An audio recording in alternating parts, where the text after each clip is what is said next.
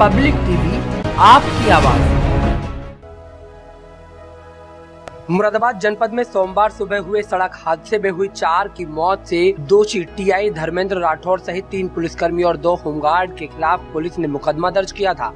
TI को police ने गिरफ़्तार कर आज जेल भेज दिया। एक पुलिसकर्मी और दो होमगार्ड अभी भी फरार हैं।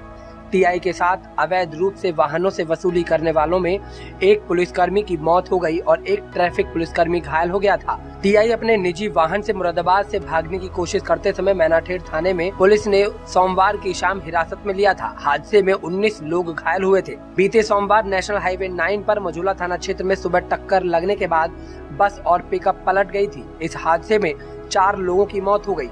करीब 19 लोग घायल हुए थे।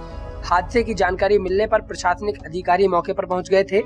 स्थानीय लोगों ने जिलाधिकारी और एसएसपी से टीआई धर्मेंद्र राठौर के द्वारा वाहन चेकिंग के नाम पर अवैध वसूली की शिकायत भी की थी। एसएसपी पवन कुमार ने चेकिंग को संदिग्ध मानते हुए जाँच के आदेश दिए थे।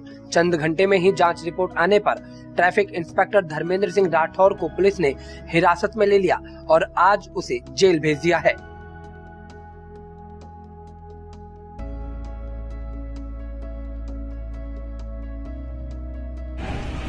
कल सुबह हाईवे पर एक बस और एक पिकअप के बीच में एक्सीडेंट हुआ था, जिसमें चार लोगों की मृत्यु हुई। इसमें एक ट्रैफ़िक पुलिस का कांस्टेबल भी शामिल था।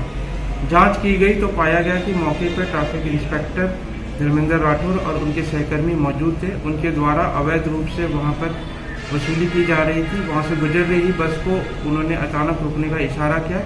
बस ने ब्रेक लगाया, जिसकी क्रम में वो अनियंत्रित हो गई और ये एक्सीडेंट हुआ। एक्सीडेंट होने के तुरंत बाद टीआई और उनके सहकर्मी वहाँ से फरार हो गए। उक्त क्रम में थाना मझौला पे मुकदमा पंजीकृत किया गया। टीआई को गिरफ़्तार कर लिया गया है और उनको जेल भेजा जा रहा है। अन्य वैधानिक कार्रवाई प्रचलित पब्लिक टीवी, आपकी आवाज़।